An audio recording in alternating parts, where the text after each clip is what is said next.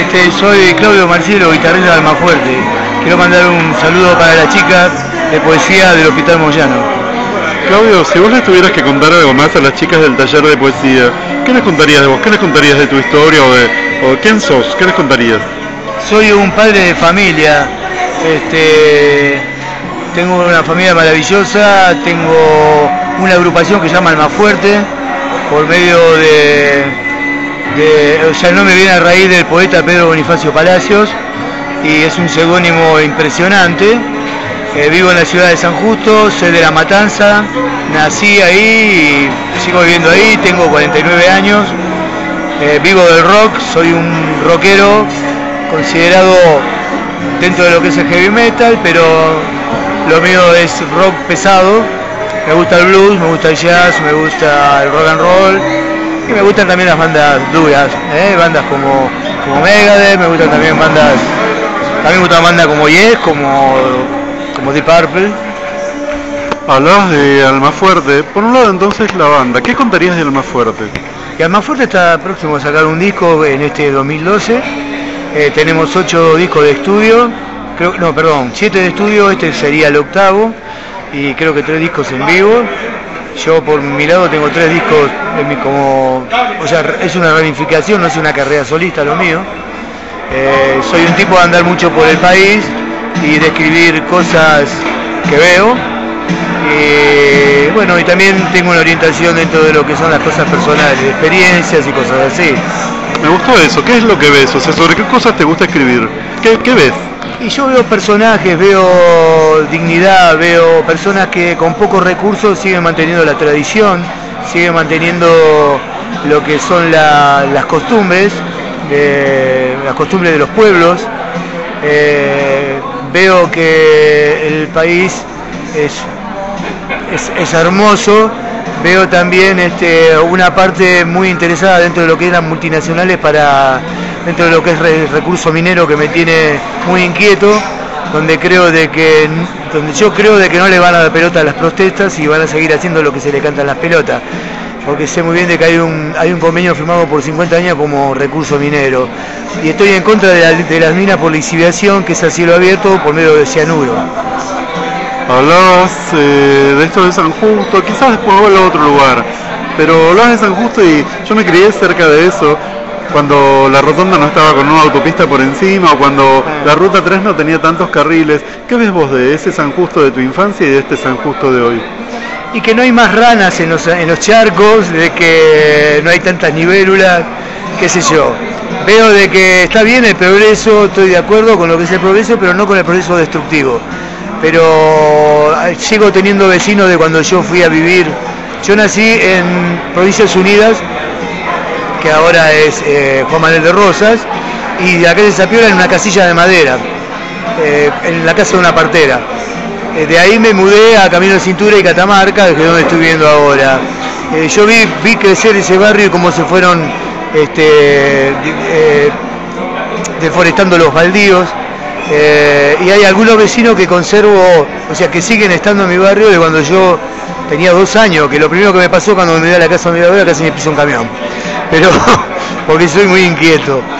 Este, bueno, tengo los mismos vecinos, algunos fallecieron, mi padre falleció muy joven, pero bueno, ahí ese barrio a mí me enseñó a, pegar ladrillo, a hacer pastones en la calle, a, a entrar metros y metros de arena para construir la casa.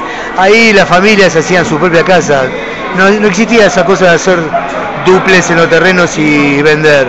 Por lo general se compraban el terrenito y se hacían la casa, cosa que ahora no pasa tanto. A, un- a una, a una pareja que quiere forjar su futuro le cuesta mucho comprar un terreno y hacer su casa. En aquella época, también yo te puedo hablar o te puedo contar de, de un La Ferrere, en donde cuando llovía los chicos festejaban porque podían irse a la calle para bañarse porque la, la calle se llenaba de agua. ¿Y vos qué otra cosa contarías de aquello y de esto de hoy? No, de eso sí, yo también lo viví, donde había un charco nos tirábamos ahí, aparte, por ejemplo, yo estoy a dos cuadras de Camino de Cintura y ahí íbamos a cazar ranas. Eh, había culebras también, había un montón de cosas, había cuises, había gente que los cazaba y los comía. Vos, vos ibas a la Ferrera y ya agarrabas liebres, eh, había perdices, un montón de cosas. Bueno, todo esto eh, desapareció, tenés que irte más, internarte más por los campos.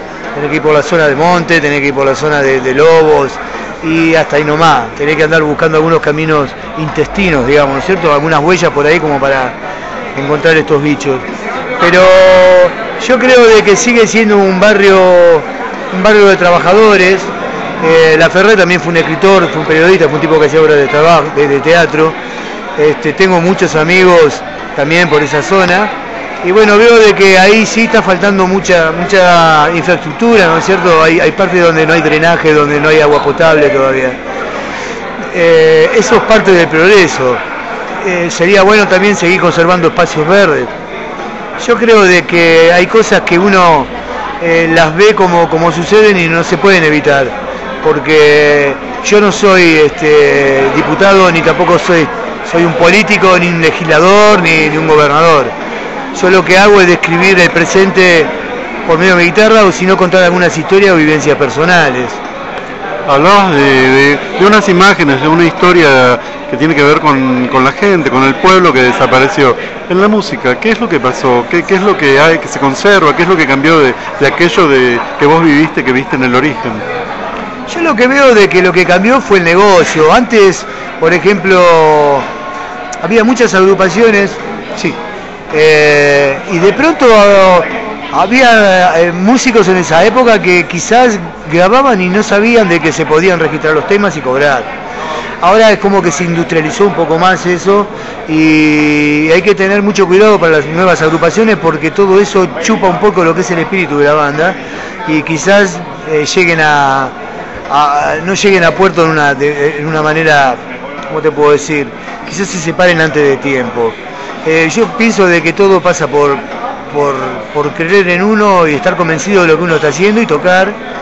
Y después, bueno, ir peleándola para ver dónde se puede abrir alguna puerta, como para que tu, tu música o tu producto llegue a lo que es la parte de difusión, como para que esto se, se conozca más por medio de la radio. Pero hay una parte que se llama Internet que también todo eso se utiliza. Yo soy cero Internet, no tengo ni página, ni Facebook, ni nada de eso. Eh, me manejo con algunos amigos que por ahí me comentan algo. Sé que hay páginas en mi nombre, pero no son oficiales. Entonces todo eso me saca un poco de la preocupación de lo que es el afán del éxito. Me deja más por el lado del arte y la parte genuina que es tratar de buscar lo mío y no tanto lo que se está haciendo. Claudio, parece que te están buscando. Yo voy a tratar de cerrar esto. ¿Por qué Pedro Bonifacio Palacio? ¿Por qué, ¿Por qué Almafuerte cuando eligieron? ¿Por qué, qué rescatan de Almafuerte? Bueno, Almafuerte fue un, un escritor, periodista, fue un tipo combatiente humanista este, que no fue reconocido tampoco por la Academia Española. Creo que Rubén Darío fue uno de los primeros que dijo este tipo es, impresionante. El seudónimo es increíble y Almafuerte viene a raíz de que cuando Ricardo me llama a mí después de Hermética para, para armar la agrupación me dijo, mirá Tano, yo fui a sanar con mi esposa y mi hija y donde fuimos a comer, en no sé si por pergamino por dónde, había en la mesa una poesía de Almafuerte y era como los bueyes. dice, entonces yo decidí poner al grupo el más fuerte. Le dije, ya vamos a ir a la casa donde nació el más fuerte porque está a 10 cuadras de mi casa. O sea, de que, y bueno, por mi barrio es todo colectivos, como dice la canción, que yo dice la música y Ricardo la letra, colectivo, eh, bibliotecas populares, escuelas, eh, salones, eh, escuelas, todo, todo lleva el nombre de fuerte porque San Justo es la ciudad natal de fuerte Así que a mí me, enorgullece mucho porque es un tipo muy aguerrido y además eh, es un poeta para, tenerlo en cuenta por 100 años más, Por muchos años más, digamos, ¿no? Aparte hay mucha historia también en eh, en San Justo también había una pulpería en la rotonda donde iba Juan Moreira, tiene sus cosas, tiene sus cosas ahí. Bueno, estamos muy cerca del Arroyo Morales, donde estuvo el combate con Telomián con 10 contra Juan de Garay, que fueron los telominos, que fueron justamente los gerandíes, ¿no? Mucha historia, y aparece esto de Almafuerte, no es entonces casual, uno lo sospecha. Te preguntaría por un escritor que elijas, una escritora y un porqué. Hablaste de Almafuerte, otro que elijas y un porqué, un escritor, una escritora. Yo elijo a mi compañero Ricardo Iorio y también elijo a... Bueno, se me escapó. Vamos, con Iorio, pero ¿por qué lo elegís? Porque entiendo directamente su mensaje y me parece de que tendría que estar en los, en los libros de las escuelas. tendría que agarrar una poesía de él y tendría que estar en las escolares.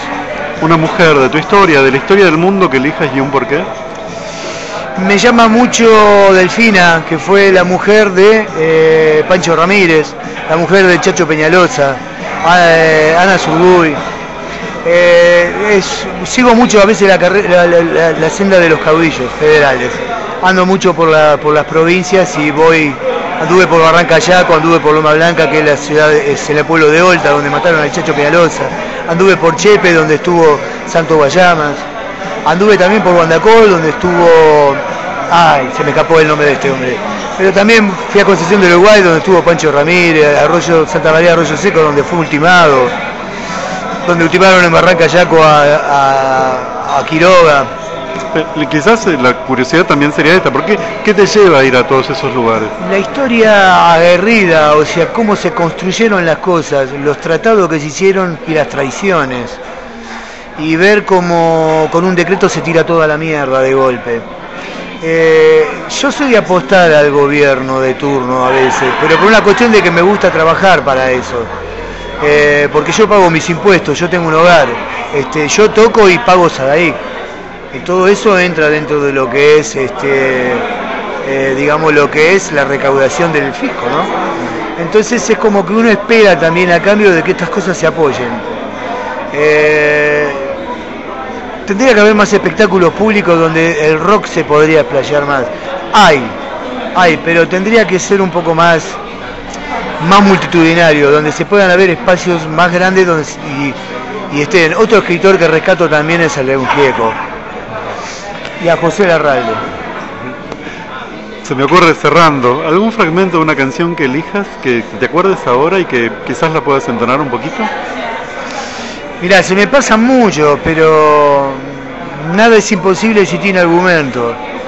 Eh, el dolor manifiesta verdad, es un hecho real, es una frase de una canción mía que se llama Incondicional. ¿Y te animás a tararearlo un poco? Eh, sin guitarra no. qué momento, qué momento. Gracias Claudio por acompañarnos. No, al contrario, gracias a vos y saludos a todos. Me esperan en la mesa.